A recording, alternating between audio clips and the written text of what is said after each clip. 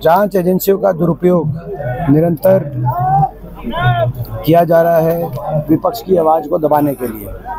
और जो कल का जो सुप्रीम कोर्ट का जो फैसला है, हम उसका स्वागत करते हैं, वो सही फैसला है, लेकिन भाजपा की कार्यशैली पूरे देश के सामने आ चुकी है। ये लगातार विपक्ष के मज़बूत नेताओं को निशाने पर ले रहे हैं। आपने देखा हरियाणा में हुड्डा साहब को भी निशाने पर लिया है, जाँच एजेंसियों ने। तो ये पूरे प्रदेश के अंदर ये ये, इनकी, ये कार्यशैली का हिस्सा बन चुका है। जो ये हम शुरू से की बात मैंने कही है कि लोगों की नाराज़गी हम समझ सकते हैं। बीजेपी और जेजेपी के सत्ता दल सत्ताधारियों ने जिस तरीके से हर वर्ग का अपमानित करने का काम किया है, लोगों की नाराज़गी हरियाणा के हर वर्ग में है, लेकिन उस नाराज़गी को व्यक्त करने का तरीका मतदान है।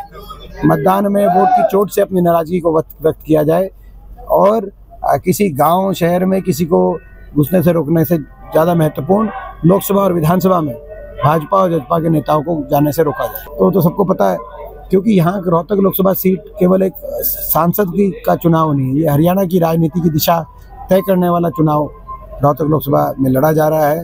रोहतक लोकसभा की जीत केवल एक सांसद नहीं, हरियाणा की अगली सरकार बनाने का काम करेगी। ये इसीलिए भाजपा के निशाने पर मैं हूँ।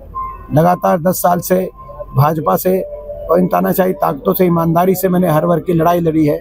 इसीलिए इनके मैं निशाने पर हूँ। मैं हर वर्ग के लिए लड़ता हूँ, सत्ता दल से, इसीलिए मैं इनको रड़कता हूँ। देखिए, हमारा जो है, मैं समझता हूँ कि आप वो भी अपना काम बताएँ देश तो सबका है, देश के लिए सभी ने कुर्बानियाँ दी हैं। मैं जो है, समझता हूँ कि देशभक्ति देशभक्ति में फ़र्क नहीं किया जा सकता। काम अपना बताए वो भी बताए हम भी बता रहे